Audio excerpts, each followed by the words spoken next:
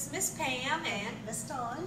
and we're going to read the story Pete the Cat, Five Little Pumpkins by author James Dean. And Miss Dawn's going to do the activity that goes with the book as I read it.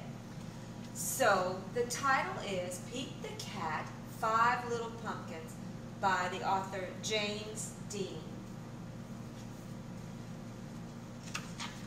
Pete the Cat, Five Little Pumpkins. Five little pumpkins. One, two, three, four, five. We have five pumpkins. sitting on a gate. This is the gate. The first one said, Oh my, it's getting late. It's getting dark. The second one said, what he's going to say. Look what's flying in the air. There are witches in the air. The third one said, We don't care. The fourth one said, Let's run and run and run. And Pete is running with the pumpkins.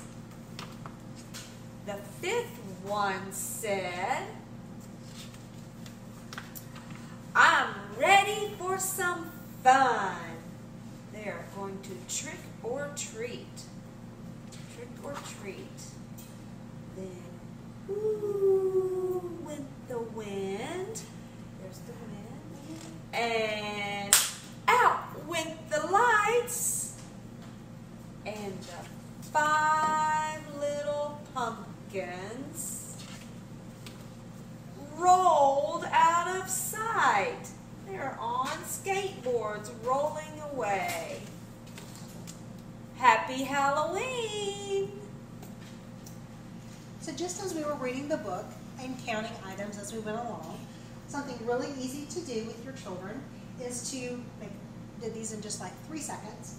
Had a little index card, wrote the number, the number name, and a dot for counting so that the children can make the connection between the number, of the number word, and how many items that means. So when you bring out your pumpkins, you can stop one in the line for one. You can stop two pumpkins in the line for two, and so on. And you can do those for any items you have around the house. Shoes, because Pete the cat loves his shoes.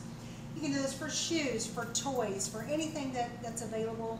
Um, counting is just huge in your daily uh, routines with your kids, counting the steps. Count how many steps it takes to get to the mailbox, how many steps it takes to get from the bathroom to the kitchen or to the bedroom. Anything with counting that's going to help support that one-on-one correspondence with an item. And first off, you have to learn how to road count, which means just counting one, two, three. And we would like for our kids to be able to count to at least 20 by the time that they leave us here at preschool. Thanks so much. Have a wonderful day. Thanks.